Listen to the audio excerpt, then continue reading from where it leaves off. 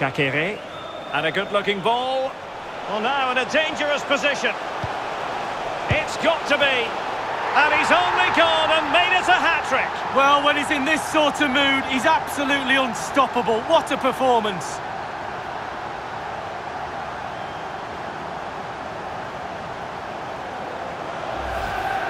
Well, here's the replay, and it's a lovely quick counter-attack that sets up the chance. And then just look at the finish.